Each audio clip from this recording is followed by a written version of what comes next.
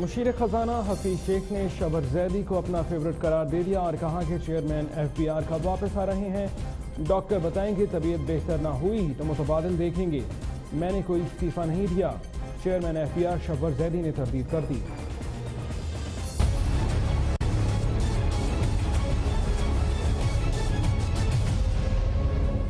عبد الحفیظ شیخ نے کہا کہ شبت زیدی کی طبیعت بہت خراب ہے، لمبی چھٹیوں پر ہیں، ان کی واپسی کا فیصلہ ڈاکٹر ہی کرے گا۔